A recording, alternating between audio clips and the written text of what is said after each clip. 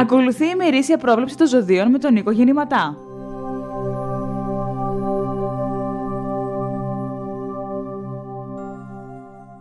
Παρασκευή 23 Φεβρουαρίου 2018 Κρυός Η Παρασκευή για εσάς είναι αρρωγός για νέα σχέδια, επαγγελματικά και ερωτικά. Αυτά τα σχέδια σας δίνουν την όθηση για νέα ξεκινήματα αλλά και αλλαγές που επιθυμείτε.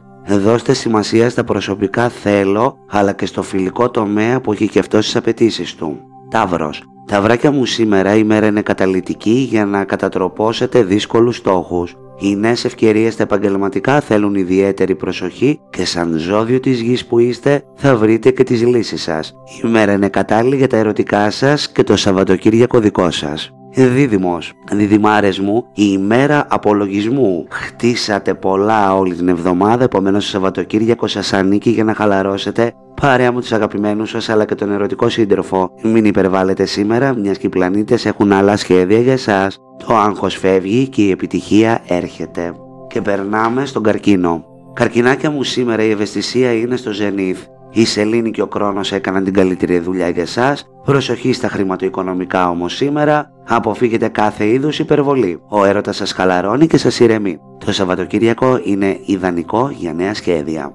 Λέων, αν και η κούραση έχει υπερβεί την ξεκούραση, πρέπει να βρείτε χρόνο στο να οργανώσετε καλύτερα το προγραμματάκι σας, τόσο στον επαγγελματικό τομέα όσο και στον οικογενειακό. Από εδώ και μπρος νέα σχέδια ευνοούνται και κάθε νέο εγχείρημα θα πάρει σάρκα και οστά την επόμενη όμως εβδομάδα. Παρθένος. Παρθενάκια μου, η κούρασή σας αρχίζει σιγά σιγά να φεύγει, χάρη στην αισιοδοξία σας αλλά και στη δυναμική σας που σας προσφέρει απλόχερα το σύμπαν. Ο οικογενειακός τομέας φέρνει χαρές, ο φιλικός τομέας τις λύσεις και ο έρωτας μικρές μικρές χαρούλες.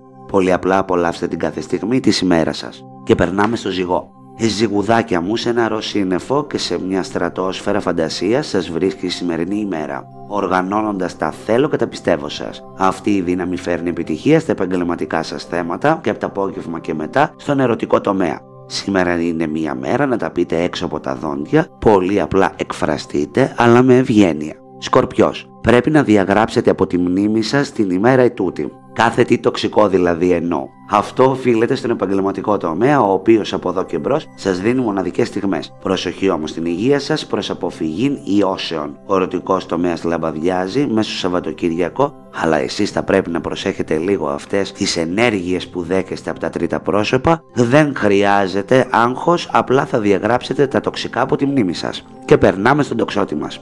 Δύναμη και τόλμη, θάρρος ή αλήθεια, τι διαλέγετε από αυτά παιδάκια μου, φυσικά όλα μαζί. Για άλλη μια φορά το δύσκολο έργο πάνω σας, στα επαγγελματικά μια γλυκιά επιτυχία σας πλησιάζει και ξεκαθαρίσματα παντό τύπου σε ερωτικά φιλία και οικογένεια. Προσοχή όμως στον καυστικό λόγο σας. Και περνάμε στον εγώ καιρό. Η δύναμή σας σήμερα είναι στα ύψη, μιας και το τρέξιμο δεν λείπει στον τομέα της εργασίας. Θα πρέπει να δώσετε ιδιαίτερη προσοχή όμως και στα οικογενειακά ζητήματα, στα οποία θα πρέπει να πάρετε δραστικές λύσεις.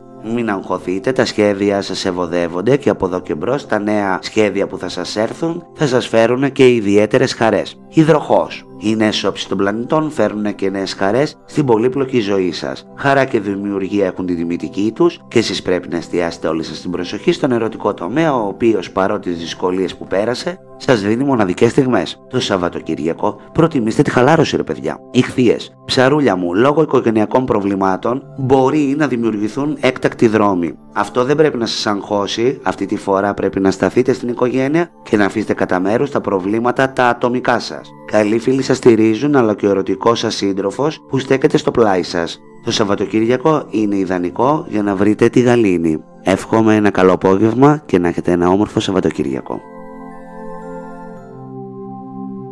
Ήταν τα ζώδια με τον Νίκο Γεννηματά. Μείνετε συντονισμένοι στο ραδιόφωνο του Ερευνητικού Οργανισμού Ελλήνων.